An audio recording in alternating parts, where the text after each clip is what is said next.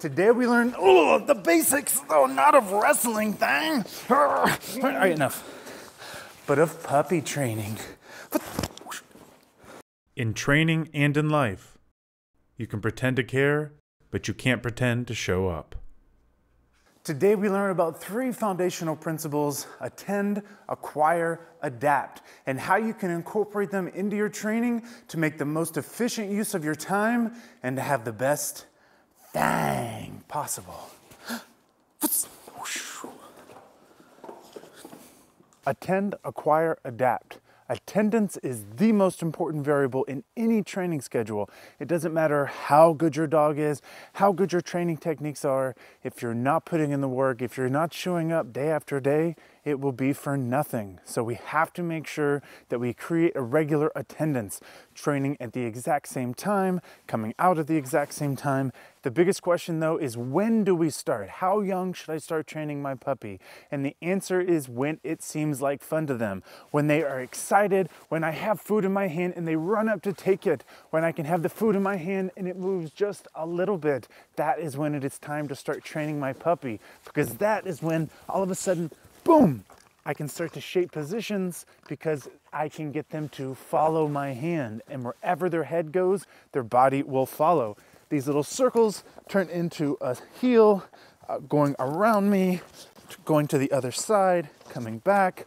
It is all done through luring, but until it seems like a lot of fun for them to follow your hand, they're not going to want to do it. So, attend when your dog is ready, put in the work day after day, basics, luring, and you are gonna see the benefits. The second most common question we get is how long should our training sessions be? Just like when to start, they should last for as long as your puppy is having fun. You always want to quit it before they start to go flat, ending on a high note. A 60 second session with an eight week old puppy is all you need. It might just be them coming out if they know how to lure and just having fun chasing your hand. It doesn't have to be amazing every session with a young puppy. The pitfall with attendance is that you don't graduate to more advanced training just because you have shown up week after week, day after day.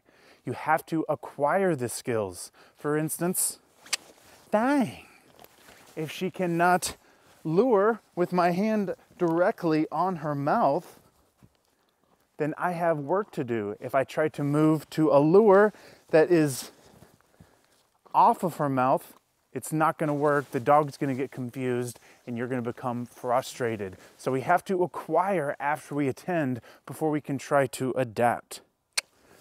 She's staying.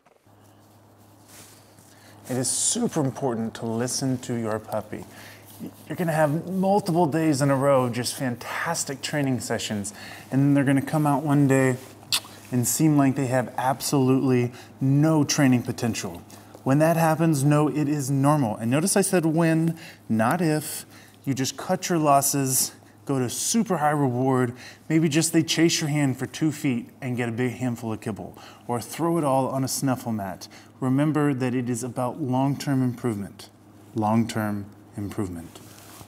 I know, you're just dang. You're dang. Dang. I say listen to your puppy, and I was starting to wonder if she was like giving me appeasement licks. So that's why I stopped rubbing on her to see if she would go or what she would do, and she just wants to be a dang. Yeah. Yeah, she just went dang. She was my dang. And now she's ready to go. Listen to your puppy and the signs that they give you because she's there. Once you have the attendance down and you have acquired the basic skill of this luring on a direct lure, this is when you start to create space. This is when adaptations happen and you make it a little harder and she has to move with some space between your hand and the lure. Never forget the number one thing that when you are training your puppy or a new dog is building the love of training, of hanging out with you, of knowing that, oh my gosh, he's got all this yummy treats, kibble, whatever it is, just for me. And when we interact, I get to get things that are amazing only from moving around and chasing his hand and having fun. It's because she's dying. Whether we are luring with a ball or with food, we have to have acquired the basics in order to be able to move on and have him adapt. Pop, pop. Poopy. Oh, poopy. Uh. Luring with the ball is a much more advanced form because it requires squishing, control. He wants us so bad. Oh, poop pop. Us.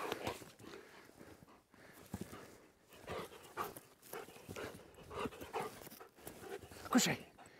And you see, oop, I almost got him there. Squishy. Gotta have that control. So this is more us of what you can expect with more of an advanced dog. He can follow, he can follow, he can follow, he can follow. Couche, he cannot follow. Puck, he's poop pop. Us, he poop popped. He can follow, he can follow, he can follow. Circle. He poop popped. The food can be the lure, the ball can be the lure, but when you've got a Mogglenotz, even you can be the lure.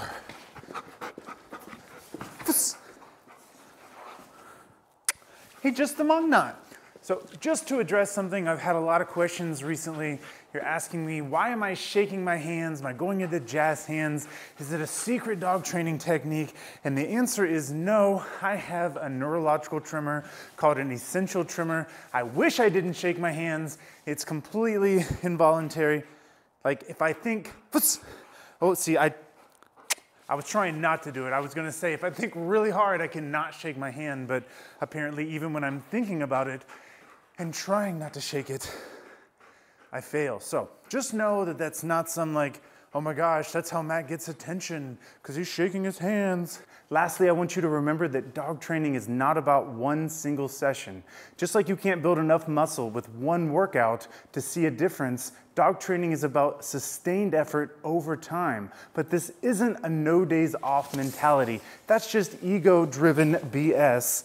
This is about long term progress and knowing when it is time to rest, because sometimes that's just as important, if not more important, than the training itself. Taking these days off, reading your dog, and knowing sometimes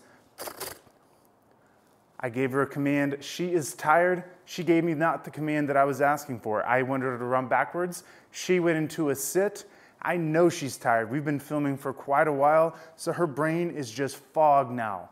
And that's a great example. If we were in a training session, I would say, you know what, we're done. I'd bring her over here. I'd put her in a down. I'd grab the food and I would just be like, boom, have it all. Enjoy yourself, end on a high note, and know that that little mistake is no big deal in the big picture.